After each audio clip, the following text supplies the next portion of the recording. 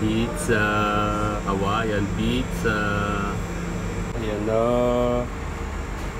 Luto na siya.